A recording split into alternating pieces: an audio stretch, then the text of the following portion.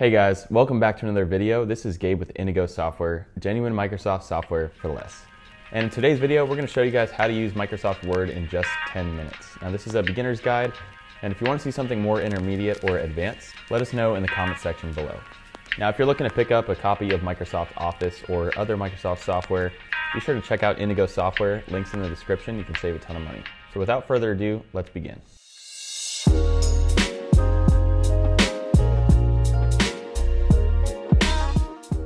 Now we're on the Mac again today. I'm gonna open up my Finder. We're gonna navigate to Applications, Microsoft Word, and we'll double click to open it up. Now, whether you're on older or newer versions of Microsoft Word, or if you're on a PC, uh, the tips in this video are still mostly gonna be applicable to you as the program itself is very, very similar across different versions and platforms. So when you open up Microsoft Word, we're gonna be met with different templates. Uh, so things like calendars, resumes, you can click more templates if you want to browse through uh, a little bit more of these, and you can also search for something that you are specifically looking for. Uh, but in the case of today's tutorial, we're going to go back to our home and we're going to create a blank document. So we'll double click that and we will put this in full screen. Now, once you open a blank page in Microsoft Word, uh, you're gonna see these things up here, which are called tabs. So these tabs each have their ribbon. This is the ribbon right here. And the ribbon is relevant to whatever the tab is titled. And within each ribbon, you'll have different groups separated by these little lines right here. So groups will put similar things together. Table, you have picture shapes, icons, all under the insert tab. So these all relate to insert and within each group, they all kind of relate to each other. And so different tabs will give you different ribbons, different tools, etc. And for now, we're gonna stay on the home page. The home page consists of the most commonly used tools, um, such as highlighter, bold, italic, underline. You've got your font and um, font size, and basic tools like that that you will probably use on a regular basis. Now, another thing to notice when navigating is you'll see a lot of different drop-down menus. So, example for the underline, you see different types of underlines. If I go to insert, you'll see that Smart Art gives me a list of uh, categories here. So these drop-down menus are basically expanding upon whatever the tool itself says, and it just gives you lots of different options. Now, I want this page to be a little bit bigger. It'll be easier for me to see it and navigate through it. So I'm just using this little slider on the bottom right, zoom slider, and about there looks good. Now me personally, I like to work with the ruler turned on. Um, you can change the dimensions of your page or you can just see them, which is pretty nice. So we'll go over to the view tab and within this ribbon, we see a ruler. So we can just check that on. And now we have that ruler at the top. Now, if you're a student writing a document for school, um, you might have to put certain information such as your name, um, date, and class in the upper right-hand corner, uh, sometimes in the upper left-hand corner. So in the case that we want to go upper right, I'm gonna go back to the home. Again, it's those common tools, and I'm gonna align this to the right, which is this little icon here. It says align right once you hover over it. And I'll enter in my name, enter my company, and I'll enter my email address. Format may look something like that if you're a student, and so that's just an easy way to, to get there. Uh, now I'm gonna press enter to create space. Press enter one more time, and then I'm gonna use this little button right here to center the text. And now we're gonna type our title. We're gonna call this 10 steps to cinematic composition. So we've typed in our title and I actually decided I want to use a different font for the entire document. I'm gonna press a keyboard shortcut, Command or Control if you're on Windows, and the letter A. This is gonna select everything on the page. We're gonna change our font to Times New Roman and font size 11. Now I wanna select just the title so I can make this look more like a title. Now I can manually bold, um, you know, bold is right here, italicized, underline, I can do any of that or change the size. Uh, but it's really easy if you just use some of their preset options up here. Again, we're on the home tab and I'm gonna click on title and then I'm gonna press that centered button again. And this is gonna choose um, whichever font is default for this style. So I'm just gonna go back and change this back to my old font, Times New Roman. And now I have a title. So I'm gonna enter again and enter one more time. And now we're ready to start typing on our document. All right, so I typed in a very basic um, introduction, two sentences, and let's say I want to move down the page. So it's not gonna let you do that. Uh, instead, you have to press the enter key. This will let you create some space between this and your main body paragraph, um, and then delete will go back. So this is an easy way to just navigate through. based on how you want to lay out your page.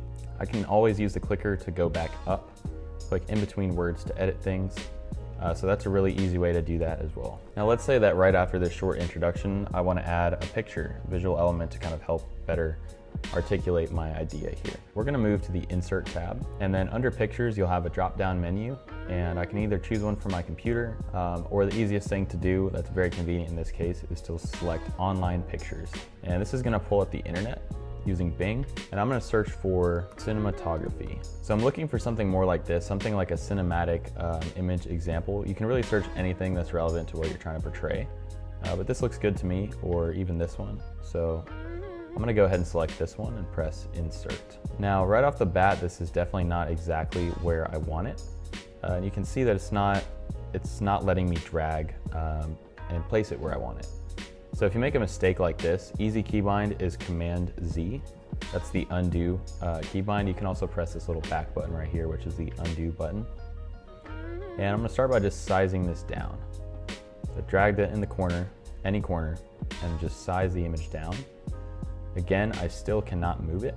Now, if you wanna be able to move your picture and change how it's placed, um, we're gonna right click and wrap text is gonna give us a variety of options uh, to be able to change how we're editing this. Behind text or in front of text will allow you to essentially free move this picture around the document. So either one of those two is fine. We're gonna select that. And now when I go to drag this around, I can just put it right here and it's gonna stay right there. Um, so that's really nice because this is definitely more like what I'm trying to achieve here. If you notice when I click on the picture, it pulls up the picture format tab, which was not previously there. And this is gonna give us all sorts of options to edit this picture. So we could change the transparency of it. Uh, there's a bunch of different artistic and color effects, color corrections. There's a ton of different things that you can do here. So if you want to edit the picture um, from how it looks stock, you can go through some of these different menu options and change up the image to your desired look. And another useful tool is you have a crop tool over here. So if I select the image, I can crop it to my desired ratio. Uh, let's say you want it to be not quite as long or not quite as tall. That's a very easy way to do that. Now, if we go back to the insert tab, there's also a lot of different options uh, that you can choose from here. You could do icons, shapes, uh, smart art, and there's media so that you could import video. Uh, there's just a ton of different options here that you could explore if you're looking to do something other than just a picture. Now another thing you might want to do is add a text box. This would be useful for writing a photo caption if you wanted to explain what's going on in this photo. So we're on the insert tab we're gonna select text box and then we'll do draw text box.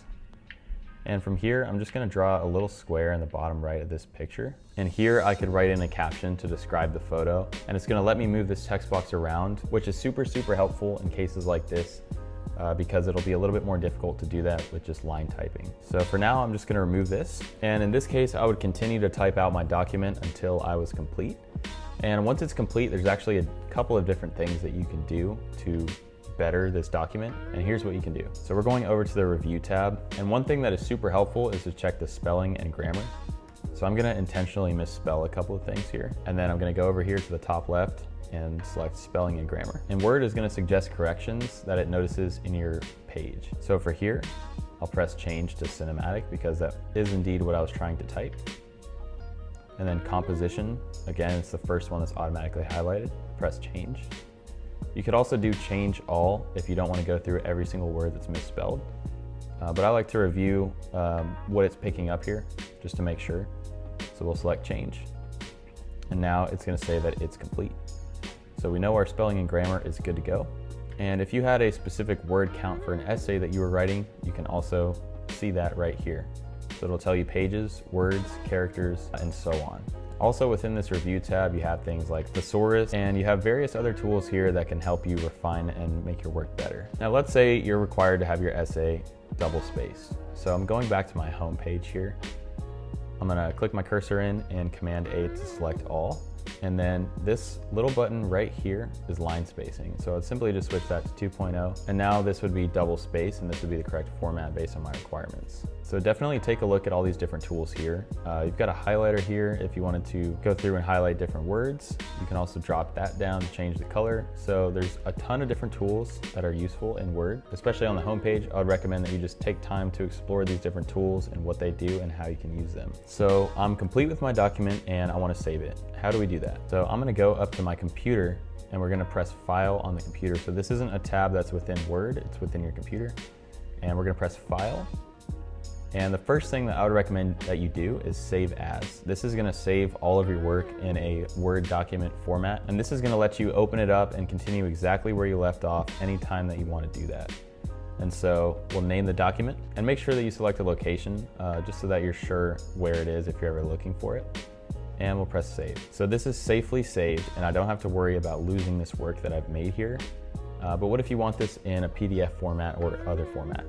Well, we're gonna go back up to file. And since we're on Mac, we actually don't have an export button underneath file. And so if you want that PDF, the easiest way to do that is share and send PDF. If you're on Windows, you'll have an export PDF option, uh, so just be aware of that. But in this case, we can send PDF. But in this case, uh, we're gonna do share and send PDF. And if I clicked on this, it would pull up a little email box where I could email it to myself as a PDF. From there, I could download it. So that concludes today's video. We really hope you guys enjoyed. And if you did, we'd really appreciate it. Subscribe, like, comment. Again, if you want to check out Microsoft software, uh, check out Indigo Software. Links in the description to save a lot of money. So thanks for watching, and we'll see you guys in the next video.